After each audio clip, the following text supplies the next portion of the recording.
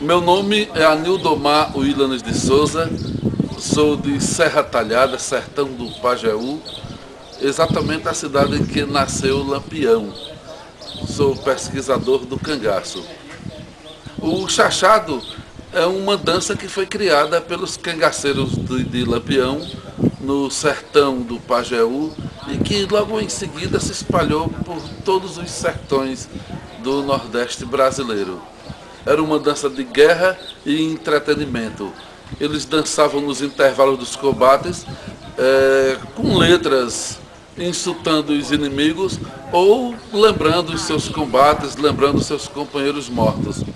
O chachado, portanto, é a identidade cultural do sertão do Nordeste brasileiro.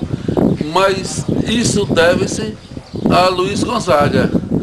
O chachado foi criado pelos cangaceiros, sim mas Luiz Gonzaga foi quem melhor cantou a musicalidade do cangaço e, quem, e foi quem permitiu que o chachado chegasse até os dias de hoje com toda a originalidade, com toda a autenticidade.